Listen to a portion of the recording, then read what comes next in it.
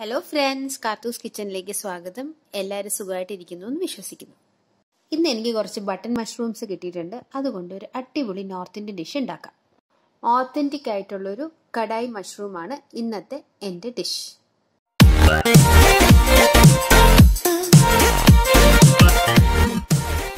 അപ്പോൾ നമുക്ക് ഇൻഗ്രീഡിയൻസിലേക്ക് കിടക്കാം. ഇരുന്നൂറ് ഗ്രാം ബട്ടൺ മഷ്റൂംസ് ആണ്. ഞാനിത് നാലായിട്ട് മുറിച്ചിട്ടുണ്ട്. ഒന്നര ടൊമാറ്റോ വലുതായിട്ട് അരിഞ്ഞത്.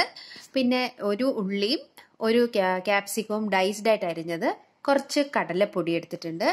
പിന്നെ മല്ലിയില ഒന്നര സവാള നീളത്തിനരിഞ്ഞത് പകുതി സവാള ചെറുതായിട്ട് അരിഞ്ഞത്. ഇഞ്ചിയും വെളുത്തുള്ളിയും കുരുകുര അരിഞ്ഞത്. കുറച്ച് പച്ചമുളക്. അപ്പം നമുക്ക് പൊടികളിലേക്ക് കടക്കാം. ഒരു ടേബിൾ സ്പൂൺ ഗരം മസാല അര ടേബിൾ സ്പൂൺ മഞ്ഞൾപ്പൊടി ഉപ്പ് ആവശ്യത്തിന് കുറച്ച് മല്ലിപ്പൊടി കുറച്ച് കുരുമുളക് പൊടി മുളക് പൊടി ജീരകം കസൂരി മേത്തിപ്പൊടി ഗ്രീൻ ചില്ലി പൗഡർ. പിന്നെ നമുക്ക് ആവശ്യമുള്ള എണ്ണ വറുക്കാൻ പാകത്തിന് കുറച്ച് നെയ്യ് ഫ്രഷ് ക്രീം. ഇത്രയും സാധനങ്ങളാണ് നമുക്ക് വേണ്ടത്. അപ്പോൾ ചുവട് കട്ടിയുള്ള ഒരു പാത്രം അടുപ്പിലേക്ക് വെക്കുക. ഒരു സ്പൂൺ നെയ്യ് ഒഴിക്കുക. രണ്ടര സ്പൂൺ ഓയിൽ ഒഴിച്ചു കൊടുക്കുക. ഇതിലേക്ക് നമുക്ക് ആദ്യം ചേർത്ത് കൊടുക്കേണ്ടത് പച്ചമുളകാണ്. കുറച്ച് പച്ചമുളക് അതിനുശേഷം ഇഞ്ചി വെളുത്തുള്ളി നമ്മൾ കുരുകുരാന്ന് അരിഞ്ഞു വെച്ചിരിക്കുന്ന ഇടുക. പിന്നെ ചെറുതായിട്ട് അരിഞ്ഞു വെച്ചിരിക്കുന്ന സവാള ചേർത്ത് ജസ്റ്റ് ഒന്ന് യോജിപ്പിച്ച് കൊടുക്കുക. അടുത്തതായിട്ട് നമുക്ക് ഇതിലേക്ക് ഇടേണ്ടത് കുറച്ച് നല്ല ജീരകമാണ്. ജീരകം ഒന്ന് പൊട്ടി തുടങ്ങുമ്പോൾ നീളത്തിന് അരിഞ്ഞു വെച്ചിരിക്കുന്ന സവാള നമുക്കിതിലേക്ക് ചേർത്ത് കൊടുക്കാം. സവാള നന്നായിട്ട് ചേർത്തു. സവാളയെ ഇഞ്ചിയും വെളുത്തുള്ളിയും ജീരകവുമായി നന്നായിട്ട് ഒന്ന് യോജിപ്പിച്ചെടുക്കുക.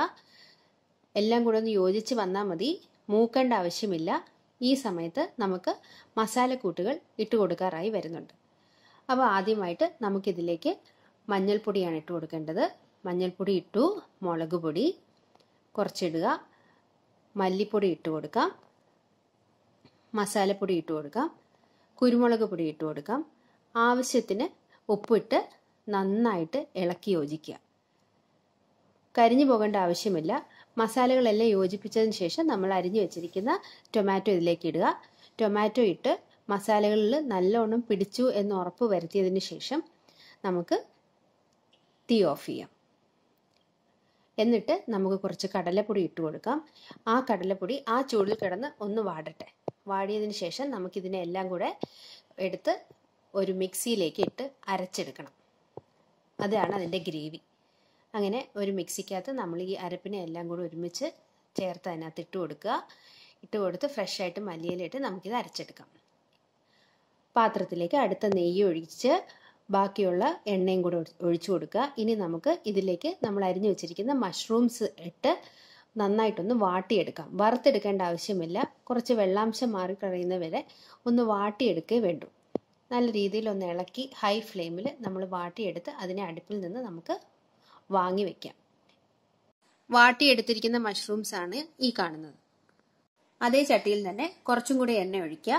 എന്നിട്ട് നമ്മൾ ഡൈസ് ചെയ്ത് വെച്ചിരിക്കുന്ന സവാളയും ക്യാപ്സിക്കവും ഇതിലേക്ക് ആഡ് ചെയ്ത് കൊടുക്കുക. അതിനെ നമുക്ക് ഒന്ന് ജസ്റ്റ് ഒന്ന് വാട്ടിയെടുത്താൽ മതി. സവാളയിലേക്ക് ഒരു ഗ്ലാസ് കൺസിസ്റ്റൻസി കാണുമ്പോഴത്തേനും നമുക്കതിനെ കംപ്ലീറ്റ് മാറ്റി മാറ്റിയെടുത്ത് വെക്കാം. അല്ലാതെ അത് ഒരുപാട് മൂക്കാൻ പാടില്ല. ഇതുപോലെ. ഇനി നമ്മൾ മിക്സിയിൽ ബ്ലെൻഡ് ചെയ്ത സാധനം റെഡി ആയിട്ടുണ്ട്. അതിനെ നമ്മൾ ആ ചട്ടിയിലേക്ക് തന്നെ ഒഴിച്ചു കൊടുക്കുക. ബാക്കി മിക്സി കഴുകി ആ വെള്ളവും കൂടെ ഇതിലേക്ക് ചേർത്ത് കൊടുക്കുക. എന്നിട്ട് നന്നായിട്ട് മിക്സ് ചെയ്യുക.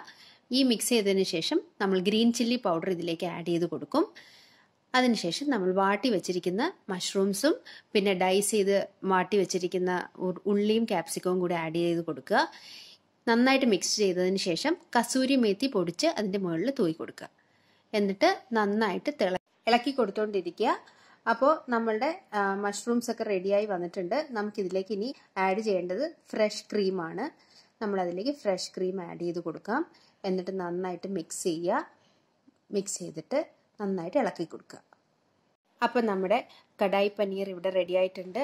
അരപ്പൊക്കെ പാകത്തിന് വറ്റി കുറുകി വന്നിട്ടുണ്ട്. നമുക്കിപ്പോൾ ഇതിലേക്ക് മല്ലിയില ചേർത്ത് നന്നായിട്ട് ഇളക്കി കൊടുക്കാം. അങ്ങനെ നമ്മുടെ ഓത്തന്റിക് ആയിട്ടുള്ള മഷ്റൂം കടായി റെഡി ആയിട്ടുണ്ട്.